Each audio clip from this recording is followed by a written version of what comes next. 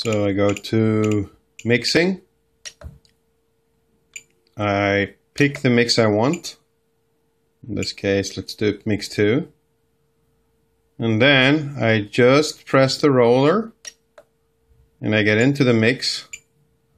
And then I could do, let's say, AUX1 2, AUX3. Oh, wait a minute. You wanted AUX3 to AUX1, so let's do that. AUX3 to AUX1. And then you set the rate to 100%.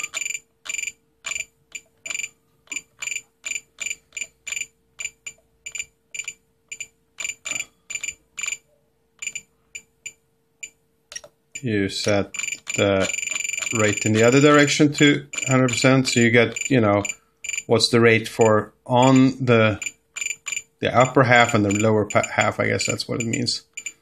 So there you go. And then you set the offset to a 100% as well. Now if we do that we should get to a situation where and it might not work now because I think I have another mix in here but yeah we you see now, okay, so what I need to do in this case, bear with me here. What I need to do here is to remove this old mix I had here. Now here we go. So disregard that. So here's my mix 2, which is what we just did. Now mix 2 does AUX3 to AUX1.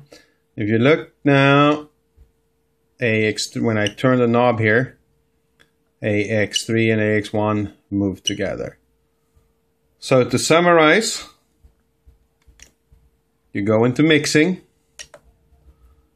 you select an unused mix, you click once once you have the cursor blinking on that, particular mix, you click the, the or you press the, the wheel. That gets you into the mixing screen and here's where you could select what you want to mix to what and then you select the rates and, and then you're done. So that's how you mix AUX3 to AUX1, which was the question that I wanted to answer with this. Thanks.